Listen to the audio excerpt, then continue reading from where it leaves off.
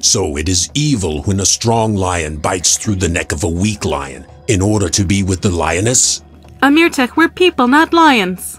True, we do not have tails or fangs, but we do fight, and the strongest survives. And it is also evil to rid Egypt of a boy who does not know how to give orders, but has already been selected to become Pharaoh? And wanting to be with a loved one, no matter what, is that also evil? Because I love you, my Annabel. When you die, Anubis will turn away from you, and you'll spend eternity roaming back and forth along the shore of the river of the dead, covered with sores and open wounds, whining with regret. Did I tell you how beautiful you are when you are angry? They will come for you when everything is in place to kill the prince. I would not want you to miss the best part, now would I? And afterwards, Annabel, we shall adjourn to my chamber.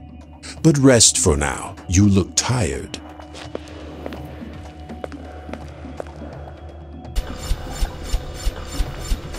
Annabel!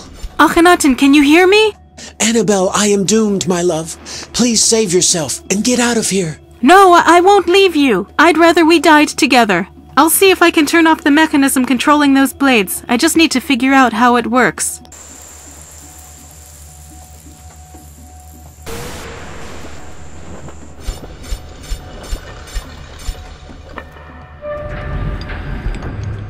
Annabel, you managed to turn it off. Osiris be praised. But I still can't reach you.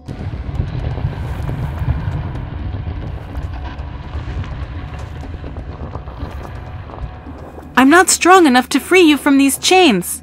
Make a sword out of the amulets of earth, water, and fire.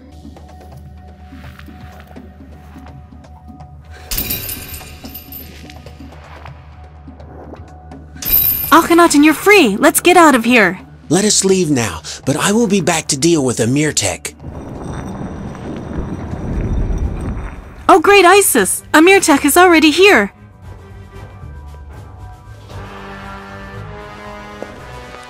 Well, what do we have here? The little lovebirds want to fly away? I am afraid that is not going to happen. Annabel would have been my wife a long time ago if she had not fallen in love with you, boy. Just for that, I will cut out your heart, and with Isis as my judge, you shall be doomed to eternal sorrow. Amirtek, you had better think about where your current actions will lead you after you die. You insolent boy, no one can match my strength. I will crush you, and I shall do it in front of the princess so she can see that I am the strongest, not only in mind and power, but also in combat. Of course, she will cry a little over your lifeless body, but trust me, I know how to make her happy, and over time she will forget all about you, Akhenaten.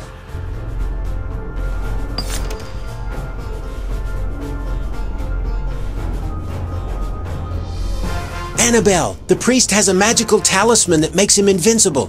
If we do not destroy it, I will have no chance. Please try to find it, my love.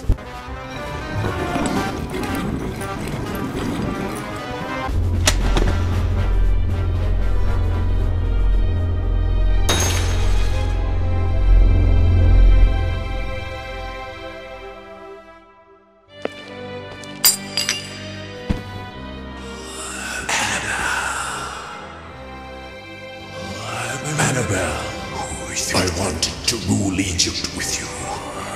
Annabel, I am so cold.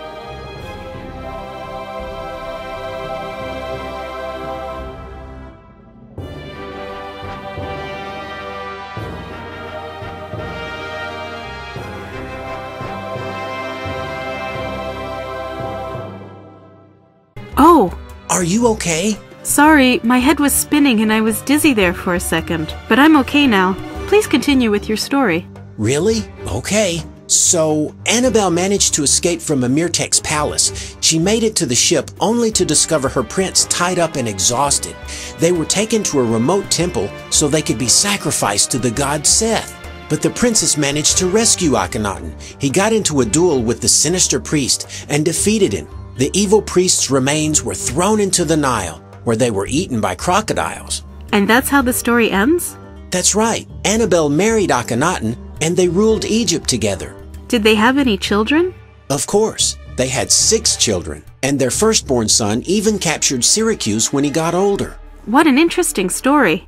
Annabel, you look a little pale. Now, I know I'm not Akhenaten, but perhaps you'll let me escort you outside for some fresh air. Or even better, I know a fantastic restaurant not far from here, right on the bank of the Nile. I'm sure you'll love it. There's a wonderful view of the sunset. You can see with your own eyes Ra, the sun god, as he gives way to Thoth, the god of the moon. That sounds like a wonderful suggestion. Let's go. Great! You won't regret it.